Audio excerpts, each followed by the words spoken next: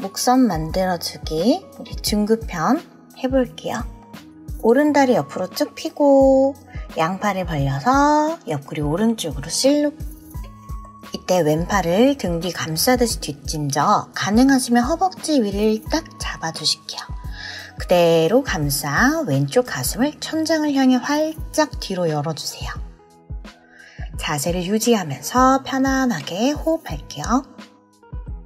내 왼쪽 어깨 앞부분이 약간 뻐근함을 느끼고 또 시원할 정도까지는 점점 어깨 가슴을 뒤로 열어주셔야 돼요. 호흡은 참지만 말고 계속 마시고 내쉬면서 조금씩 더 밀고 나가요.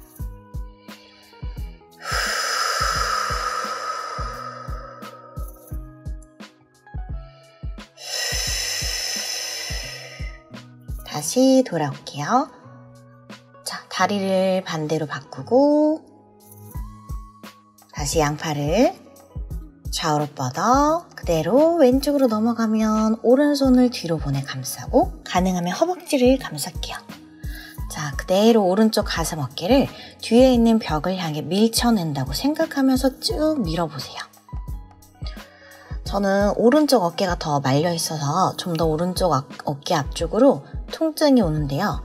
너무 무리가 될 정도까지는 또는 고통스러울 때까지는 밀지 않지만 충분한 자극을 느낄 수 있게 열어주셔야 돼요. 좀 더 불편하고 뻣뻣한 부분을 더 길게 시간을 오래 해서 늘려주세요.